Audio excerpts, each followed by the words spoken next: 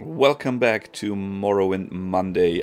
It is I, Nighty, the mighty Nighty, that is, the Black Panther Kitty, and I am your host for this episode. And yes, I normally play in this mode, uh, this mode, and I will shall switch to it also.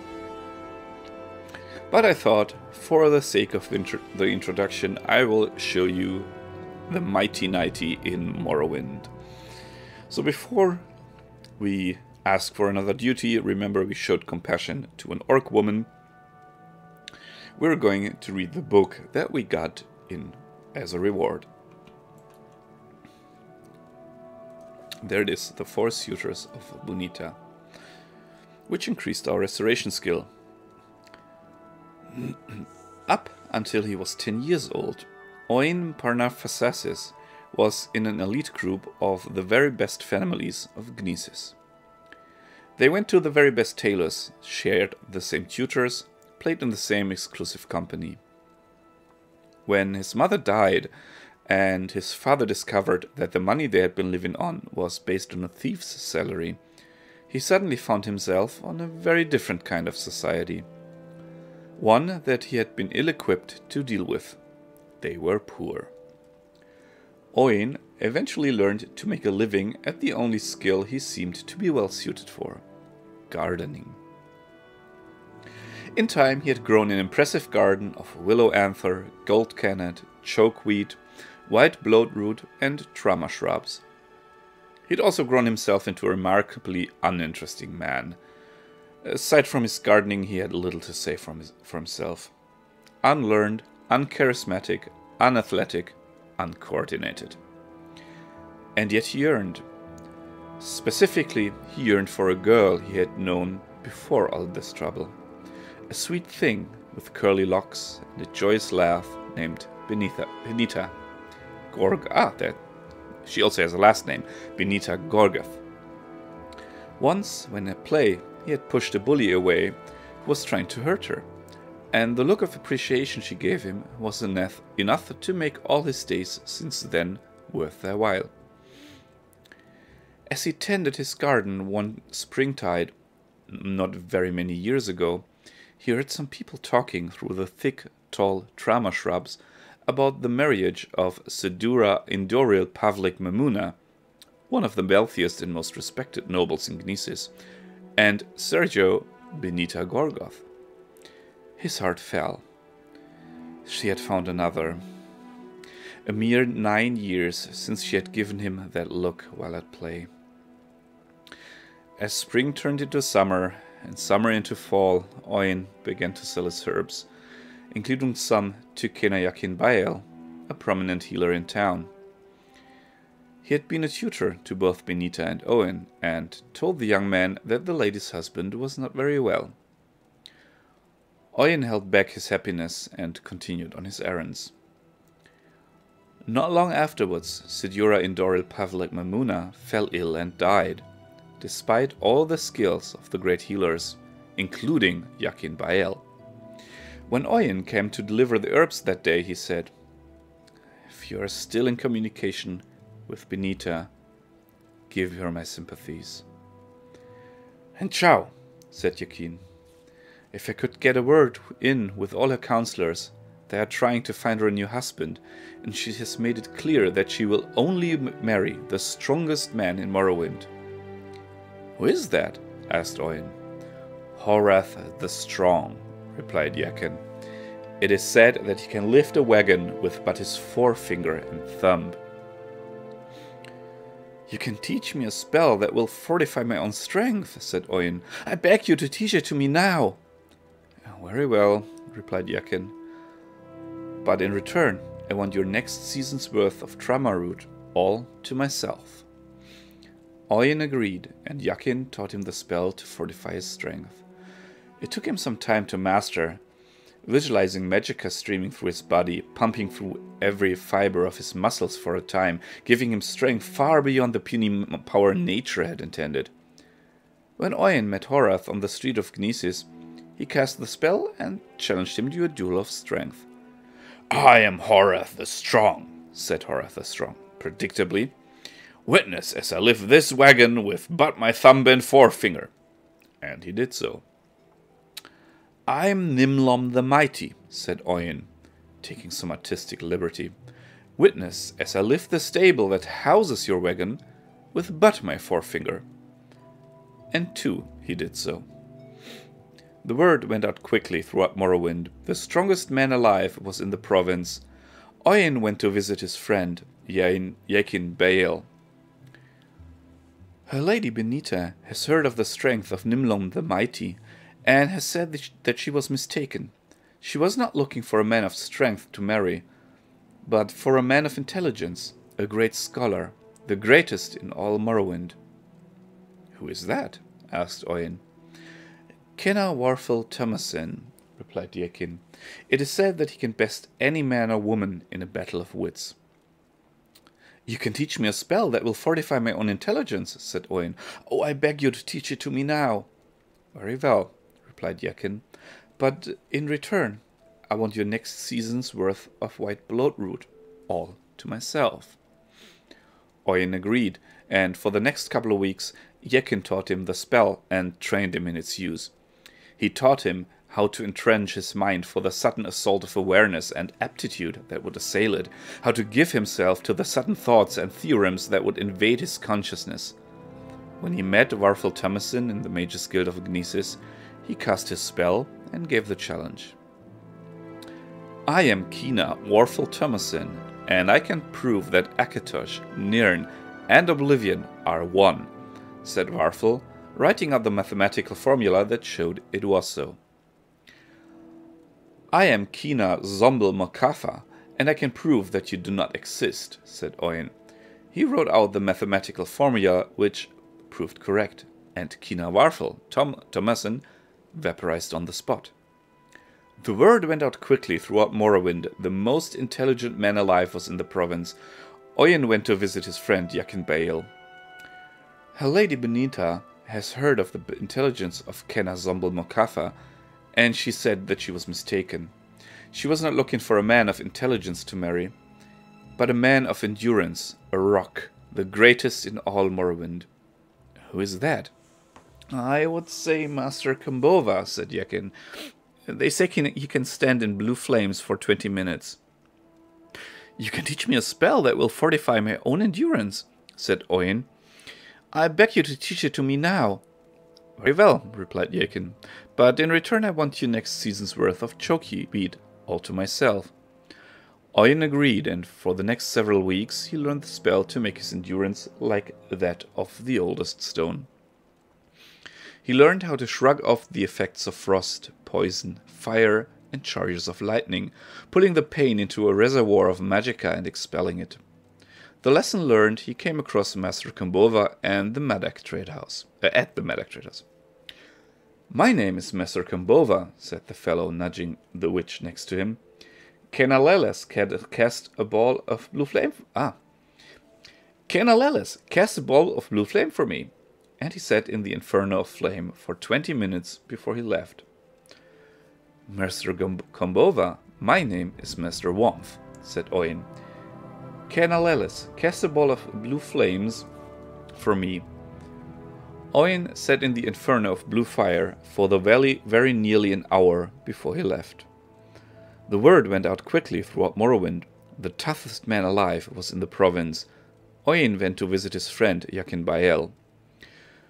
Her lady Benitha, Benita has heard of the endurance of Master Womp, he said, not entirely approving of Oyin's last sobriquet, and has said that she was mistaken. She was not looking for a man of endurance to marry, but a man of agility, a nimble acrobat, the greatest in all Morrowind. Who is that? I would say Funkresort Preef, said Yakin. They say he is the greatest shield blocker and pickpocket in Morrowind. Oh, you can teach me a spell that will fortify my own agility. I beg you to teach to, it to me now. Very well, replied Yakin, but in return I want your next season's worth of gold canet, all to myself. Oyin agreed, and Yakin taught him the spell that would fire his impulses with magicka. Over several weeks he learned how to supplant his own natural energy with the spells and how to fee the world at a slower pace than men with advanced agility sees. In time, Oin came upon Funkresot in a field outside the city, doing his regular exercises. Oin cast the spell and approached the acrobat. Ah, behold the power of the amazing Funkresot Preve, said the aforementioned, and prompted his sparring partner to attack him with his sword. He blocked the blows effortlessly with a shield for ten minutes, and then revealed afterwards that he had pickpocketed the young man's purse. Very impressive, Sir Preve. Now, behold the power of the remarkable Gazuv Moog, said Oyen, and prompted Preve's sparring partner to attack him with his sword. After 20 minutes of blocking the man's blows with a, shield, a shield, he revealed that he had pickpocketed Funkresot's Preve's purse. The word went out quickly throughout Morrowind. The most agile man alive was in the province. Oyen went to visit his friend Yakin Bael. The door was closed this time, and he heard voices within. Have you heard about the remarkable Gazov Moog? Yakin Bael was asking. He sounds like a promising suitor. The truth is, Kena, that I have no more interest in, interest in him than I had in Ninlom the Mighty, Kena Zombel, Mokava, or Master Wormth, replied a feminine voice that seemed familiar to Oin. I will have to invent a new test for suitors while I search for my true love. You don't wish to marry the strongest, most intelligent, toughest, most agile suitors? asked the old healer. No, not at all. I had to make some kind of test to rebuff the advances of so many men interested in my money and the money of my late husband. The truth is that I've never forgotten the young boy who was so kind to me when I was little and so brave fighting off the bullies. His name was Oin Parnaf Parnaphasis. Oin bursted into the room and was reunited with Benita. They were married at once. A week later, he returned to Yakin Bael and learned how to fortify his personality in exchange for the next season's worth of Willow Anther. Then they lived happily ever after. And there you have it, folks. Again, half an episode just of reading, but there you have the power of compassion. So don't forget be compassionate of others and help them if you can. Now, let us ask Tuls Valen for the temple what our next quest will be, shall we? What brings you to the temple, layman? Have you been lax in your duties? Somehow he changes his voice uh, between episodes, doesn't he? Well, anyway. Uh, no, no, no, no. I'm, I'm asking for new duties, sir. A man in Suran named Elvil Vidran is a false incarnate. Um, Suran, Suran, I, I, I, heard that name before. Um, it's on the north shore of Lake Masobi in the northwest corner of the Ascadian Isles. You can get there by going east from Pelagiad and around the north side of the Dren Plantation.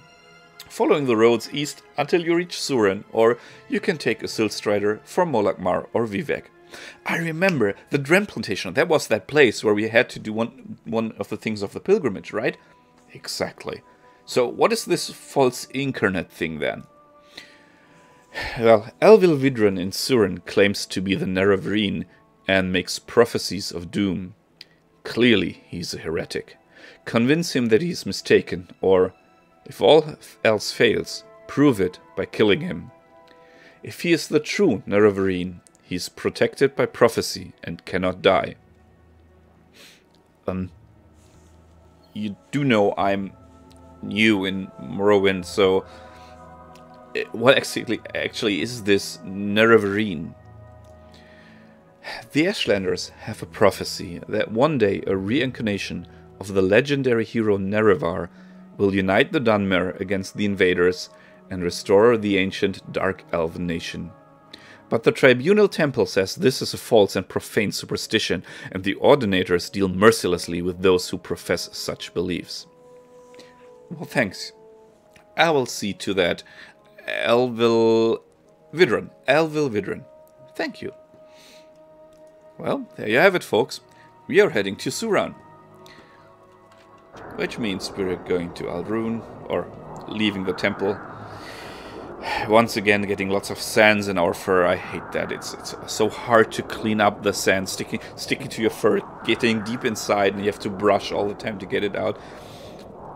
And still days after, you still find the sand in your fur. It's so annoying.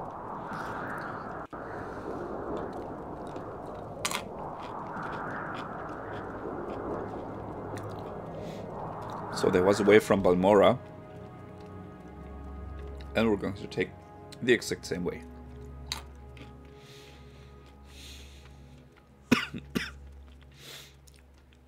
also, this means we need we are able to see someone again, which is our be best friend, Ajira. Tidings and good wishes to you. Ajira, good to see you. Mwah, mwah.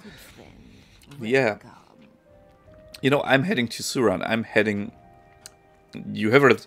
You heard of this thing? This this Nerevarine thing? Mm, the temple sent me there. Yeah, I I know. I know what the mages say about the temple, but hear me out. The temple sent me there, and well, it seems to be some kind of false prophecy thing. It's it's really amazing and really curious. So you might actually want to learn about this too.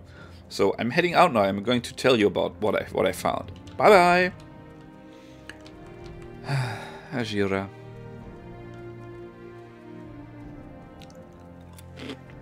Whenever I'm close to her, I turn into a little kid. A little kitty, so to say. And look at that, the stars are out. Isn't this night beautiful?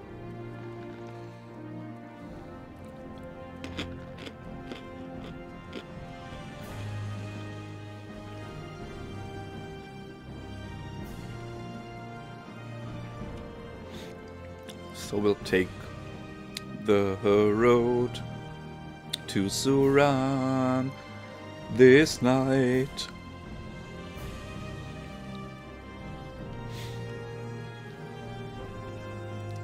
Oh, I do know why my nose clogs up and I need to cough all the time. I did not take my my pills against the allergies and dust mite allergy. Completely forgot about that. Well, let us wait for an hour. So our fatigue can replenish. And then head out.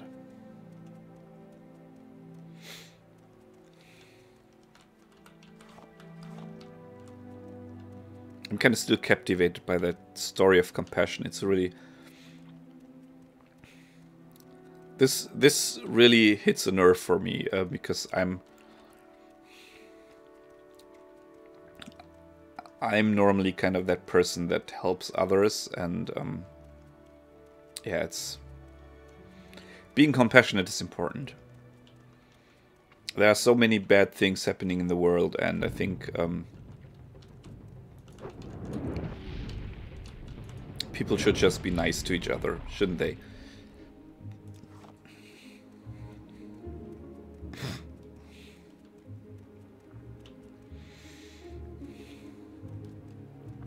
I'm making weird noises again.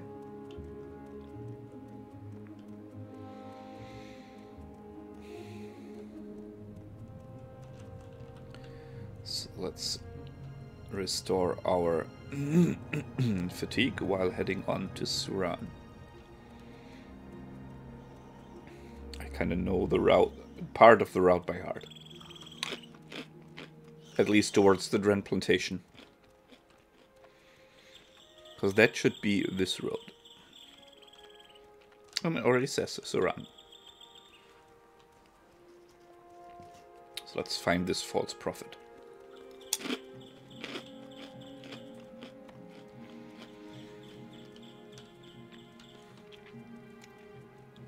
Look there, gold cornet. It was one of the flowers that Oyen planted.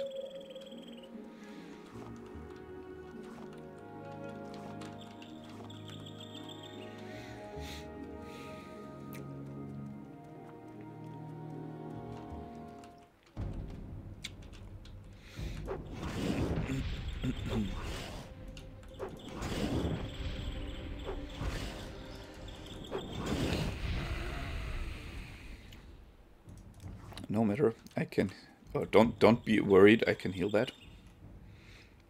I do still have a healing spell. And now let me just rest for an hour.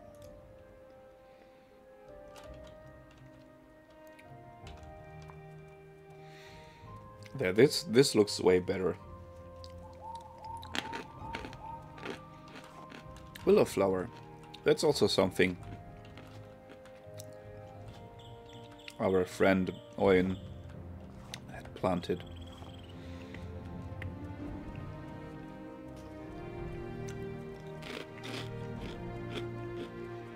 Mm.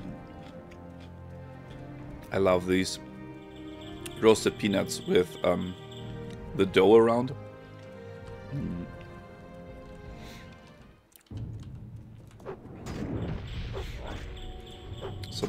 Brand product is called Nic Nac's. These are the off-brand ones though.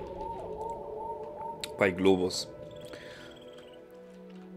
Their store brand is called Jeden Tag, which translates into every day. Which I think is a neat name for a store brand. It's like the stuff that you buy for every day.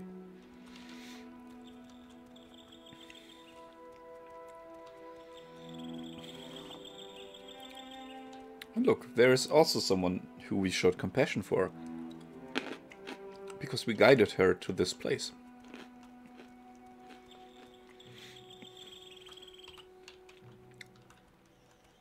And yet again, we brought these two together because one of them was in trouble, hiding from, I think, Nick sounds.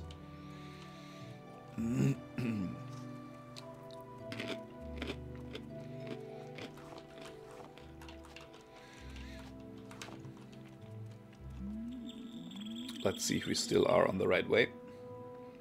Yes, we are.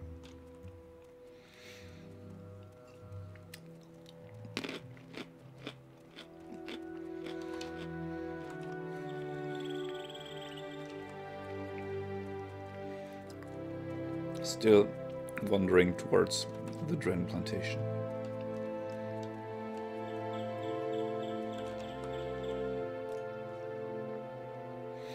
Let's marvel at the area and rest for an hour, and then head on.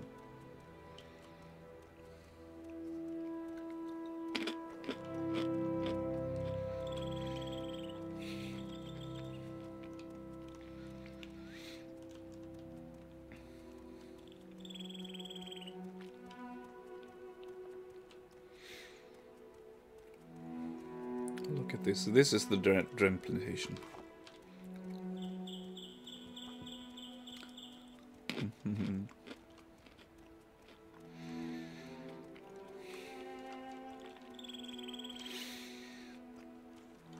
Let's take in the smell of fresh grass and ah, so nice here.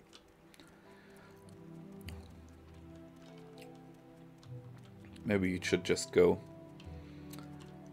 and take a little rest here next to maybe under the roof. I'm sorry. This is why you should stay hydrated.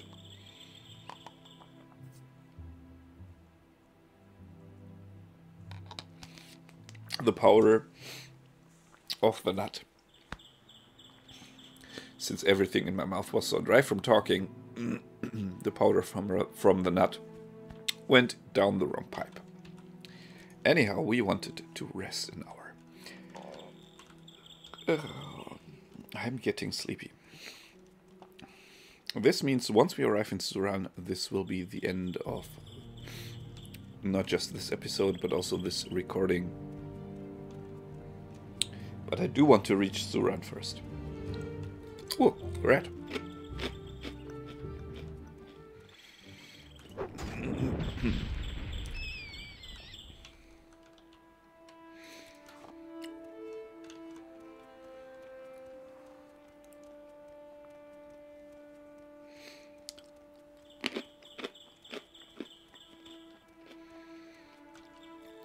this is the way.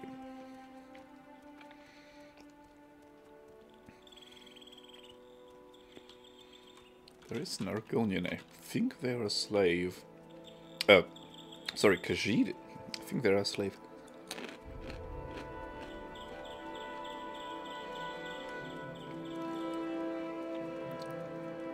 We're not that good at pickpocketing or things like that. So we can't easily get the the key. but at some point we will go and free all those slaves. But there, this is the entrance to Suran.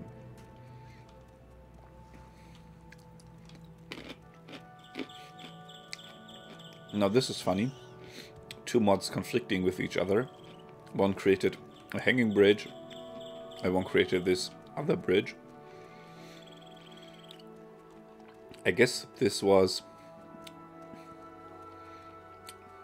Well, no, if, if one is the original, then the mod should have deleted the entry, right, for, for the other bridge. Well, anyway.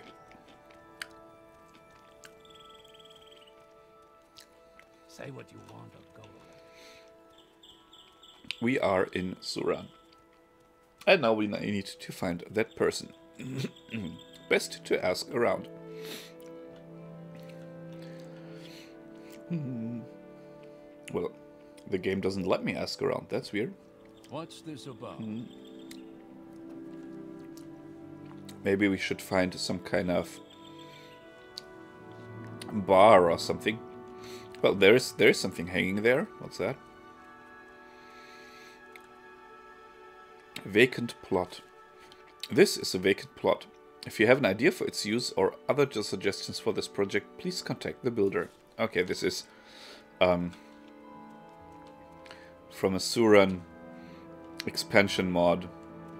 You talk too much, Outlander. He heard us. And he didn't like what he hear, heard.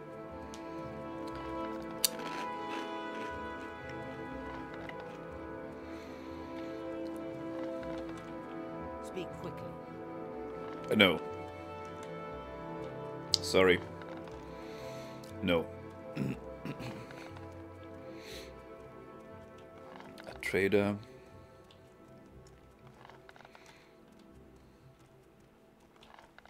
Do you want something? Is this the temple? The Dunmer Temple. Let us head inside, Say what you and maybe they can help us out.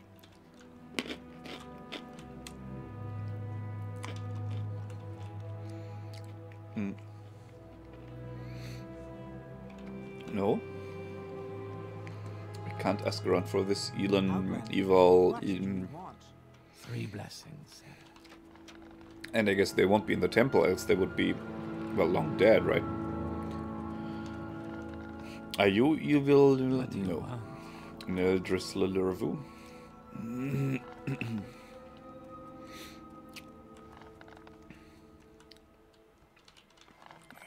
Apothecary.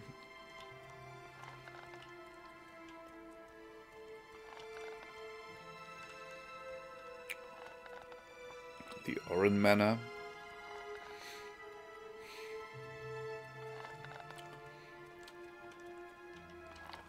Okay, this is a trader as I thought. This should be an outfitter then.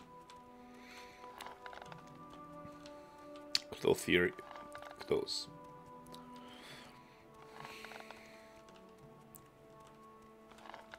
Let's get down here.